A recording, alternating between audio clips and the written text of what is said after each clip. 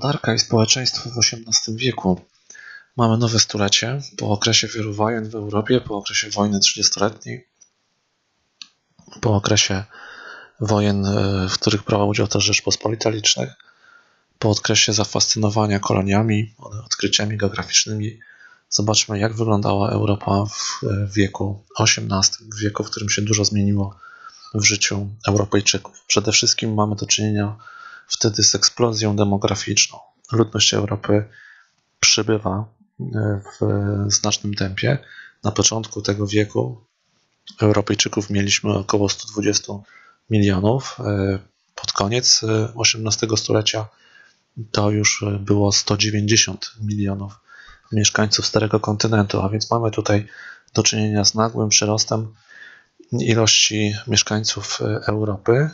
Taki nagły wzrost ilości ludzi to eksplozja demograficzna. Rodzi się więcej osób, więcej osób przeżywa e, poród, okres e, dzieciństwa, wydłuża się średnia długość życia, więc mamy tutaj eksplozję demograficzną, co wpływa na to, że ta ludność e, tak bardzo wzrasta właśnie w Europie liczebnie.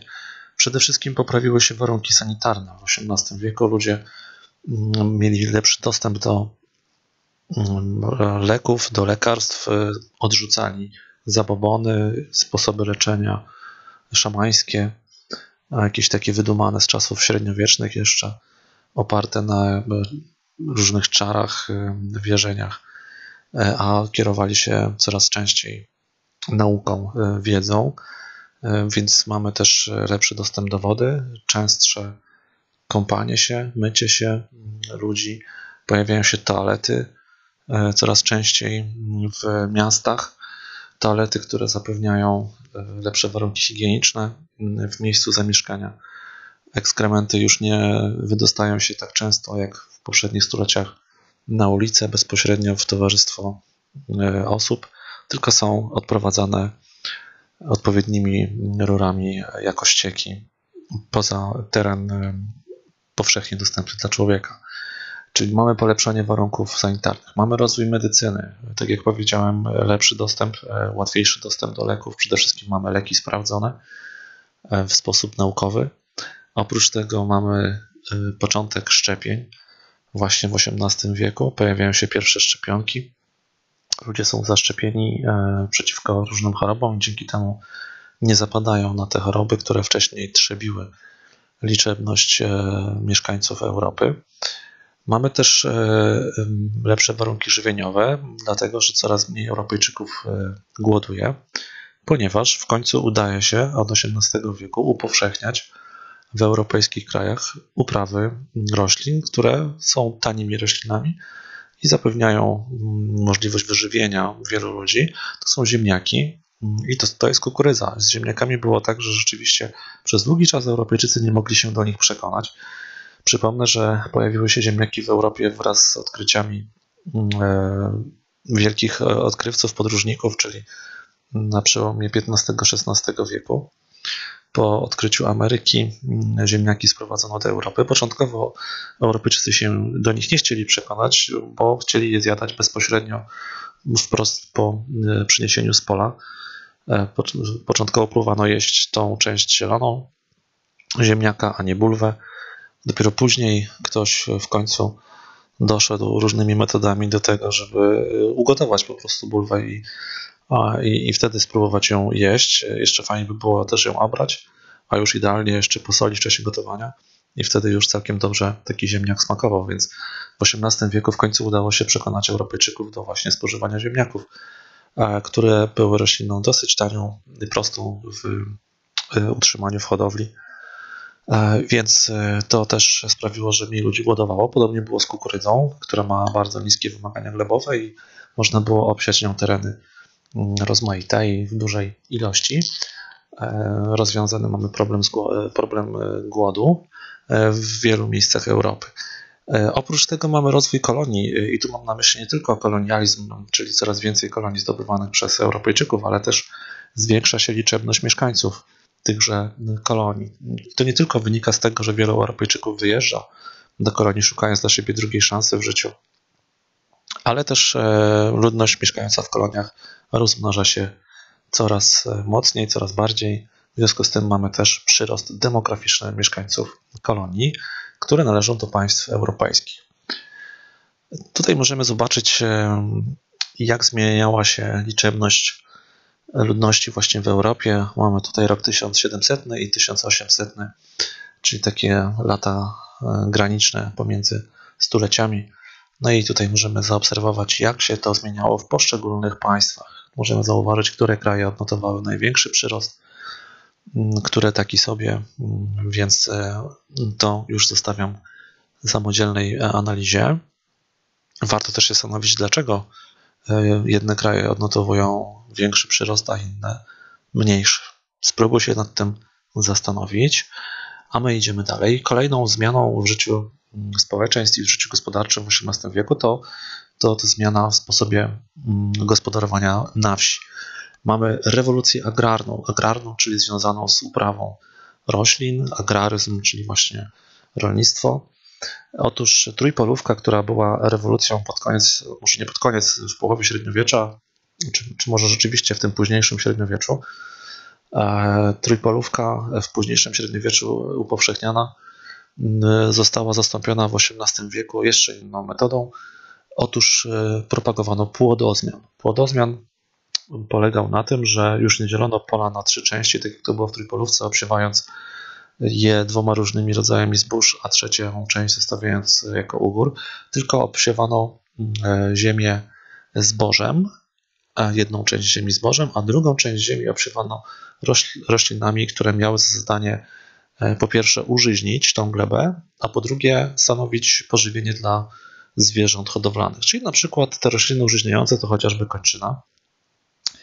I na tą ziemię, która nie była obsiana zbożem, tylko właśnie roślinami użyźniającymi, można było wyprowadzić e, bydło na popas, żeby mogły się e, zwierzaki posilić, a przy okazji te zwierzaki zostawiały po sobie tam różne placki, które stanowiły naturalny nawóz.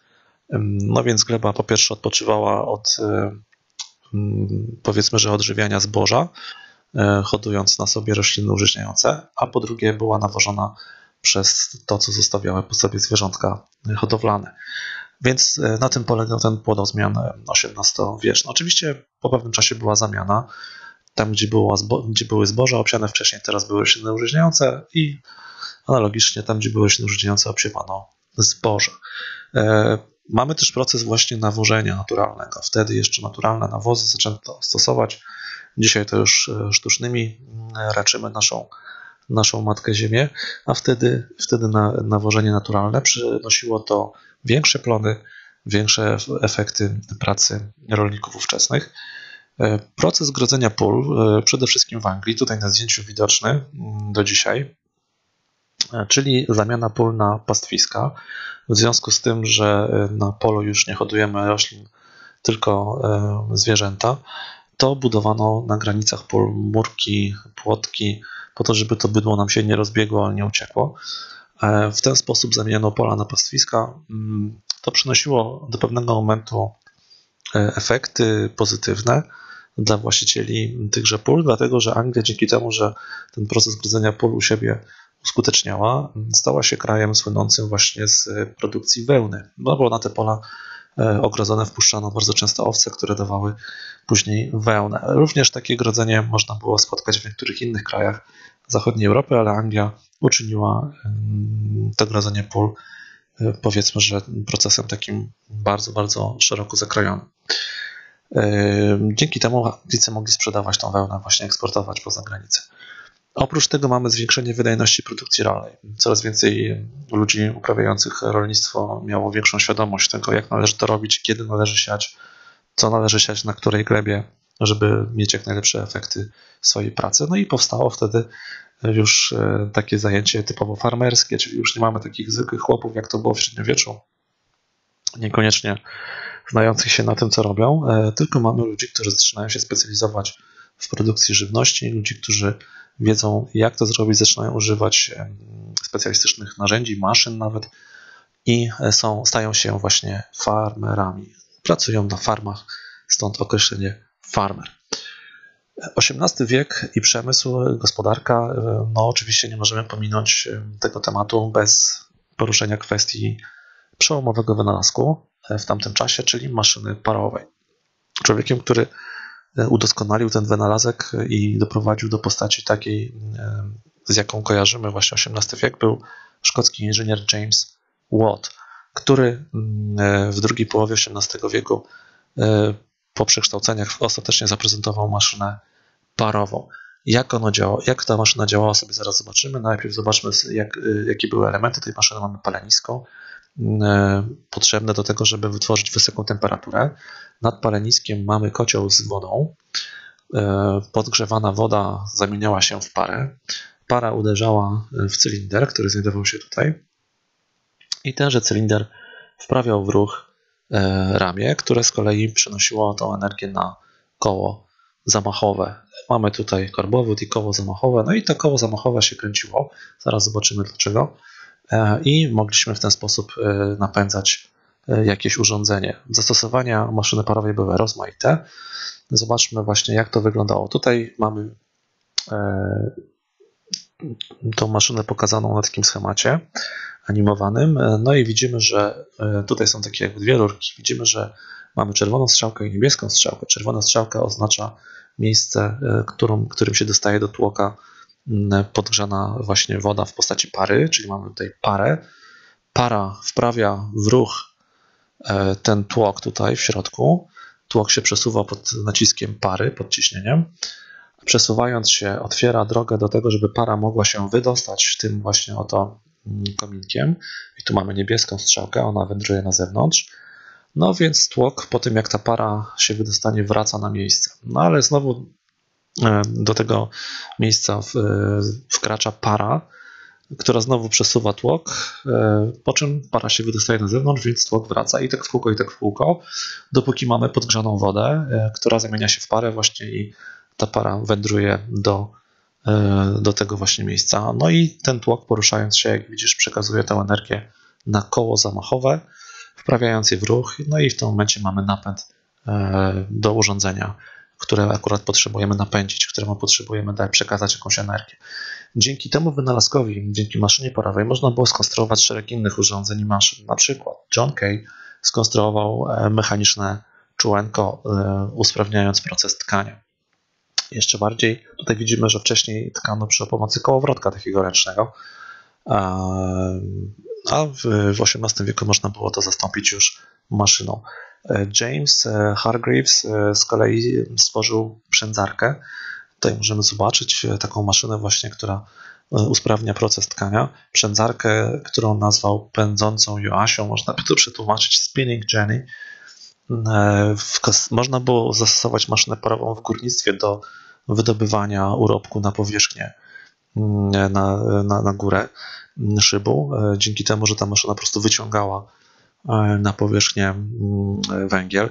Można było w metalurgii, można było w komunikacji, na przykład tworząc e, pojazdy napędzane właśnie maszyną parową. W wielu dziedzinach mm, życia, wielu dziedzinach gospodarki przede wszystkim stosowano maszynę parową w XVIII i w XIX wieku jak najbardziej też. Na przykład Robert Felton skonstruował parowiec, czyli statek napędzany właśnie maszyną parową. Tutaj widzimy, że ta para obracała koło, które z kolei uderzając e, takimi płatami w wodę napędzało mm, dany statek. E, George Stevenson z kolei skonstruował lokomotywę. Lokomotywę e, nazywała się ona The Rocket, czyli rakieta. No i tutaj z kolei to koło zamachowe obracało się jako po prostu koło lokomotywy, dzięki czemu mogły powstać później pociągi. To były takie wynalazki które na przykład lokomotywa, ona się upowszechniła w wieku już następnym, w wieku XIX.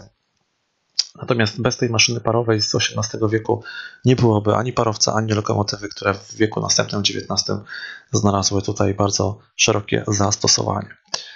Rewolucja przemysłowa sprawiła też, że nastąpił wzrost znaczenia surowca, jakim jest węgiel. Dlatego, że żeby, na, żeby uruchomić maszynę parową, trzeba było podgrzeć wodę, żeby ją zamienić w parę pod wpływem temperatury. No więc tutaj to podgrzanie wody polegało właśnie przede wszystkim na, na opalaniu e, tego zbiornika z wodą właśnie węglem. Węgiel zaczął być szukany na potęgę w Europie, a później też i poza Europą, w koloniach, więc stał się cenniejszym surowcem niż wcześniej. Wcześniej często używano drewna do, do rozpalania ognisk, do utrzymania ognia. Teraz węgiel stał się surowcem bardziej wydajnym, no i też bardziej pożądanym. Oprócz tego drewno też zostało wyparte przez węgiel, jeżeli chodzi o wytapianie żelaza, bo żelazo jest to właśnie stop między innymi właśnie węgla. Więc tutaj mamy, mamy tutaj zastosowanie kolejne dla węgla. No i mamy dzięki temu rozwój metalurgii. Dzięki temu, że węgiel zaczął być mieszany z różnymi metalami, można było rozwijać sztukę wytopu, wytopu różnych, różnych metali. Zdaje się, że powinienem powiedzieć, że stal, a nie żelazo. Tak jest, stal jest, jest stopem. Żelazo oczywiście jest pierwiastkiem, a nie, sto, a nie stopem. Mój błąd, teraz, teraz do mnie to dotarło. Chodziło mi o stal, nie o żelazo. Stal jest oczywiście stopem z użyciem węgla. Żelazo to oczywiście pierwiastek o symbolu Fe.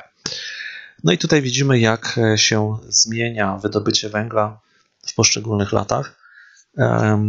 Widzimy tutaj, jak zmieniają się daty i e, coraz więcej mamy tutaj tego węgla wydobywanego w Wielkiej Brytanii, dlatego że Wielka Brytania stała się tym krajem, który jako pierwszy zaczął przestawiać przemysł na mm, e, właśnie na, na przemysł oparty na wydobyciu węgla i zastosowaniu węgla, to tam nastąp, następowała industrializacja, uprzemysłowienie w najszybszym e, tempie. Tu jeszcze widzimy wytop surówki mm, żelaza, jak się zmieniał wraz z upływem czasu.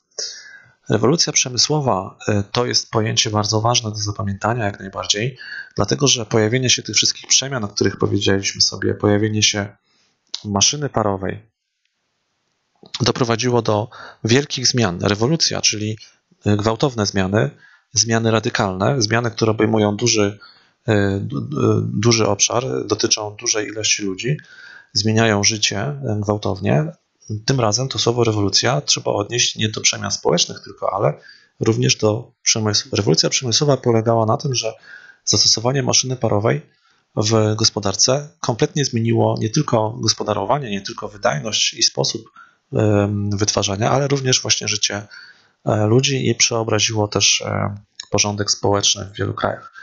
Rewolucja przemysłowa doprowadziła do tego, że mm, powstała nowa grupa społeczna, tak zwana klasa robotnicza, czyli ludzie, którzy pracowali w fabrykach. Powstawały pierwsze fabryki właśnie w XVIII wieku, fabryki, które potrzebowały bardzo wielu pracowników, dlatego że ktoś musiał obsługiwać te maszyny parowe, ktoś musiał obsługiwać poszczególne maszyny napędzane za pomocą maszyn parowych, więc powstały miejsca, gdzie było zatrudnionych y, nawet setki y, pracowników. To byli robotnicy, robotnicy, którzy napływali do, do miast w poszukiwaniu pracy i stworzyli właśnie nową grupę, klasę robotniczą początkowo bardzo biedną, mieszkającą w prowizorycznych e, jakichś izbach, e, budyneczkach jakichś skleconych z zaimperyzowanych materiałów.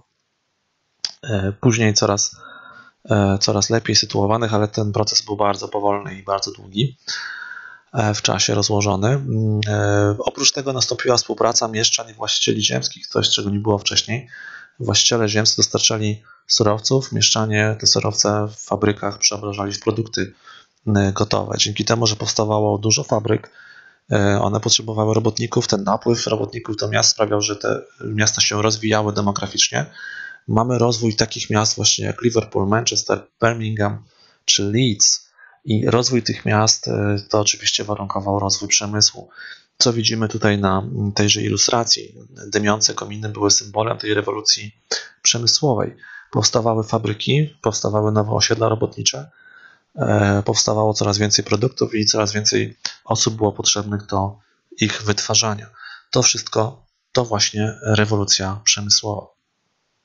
Jak ona wyglądała w całej Europie, bo tutaj mieliśmy do czynienia z miastami angielskimi, bo Anglia była tym pierwszym krajem, gdzie rewolucja przemysłowa mm, e, się odbyła, natomiast e, objęła ona oczywiście w większym lub mniejszym stopniu w zasadzie cały kontynent europejski. No i tutaj widzimy, gdzie powstały ośrodki przemysłu mm, w Europie. Oczywiście mamy tutaj Liverpool, mamy Manchester, mamy Cardiff City, Mamy Londyn jak najbardziej, czyli te angielskie ośrodki przemysłowe, ale i we Francji znajdziemy, w Lyonie, chociażby takie okręgi przemysłowe.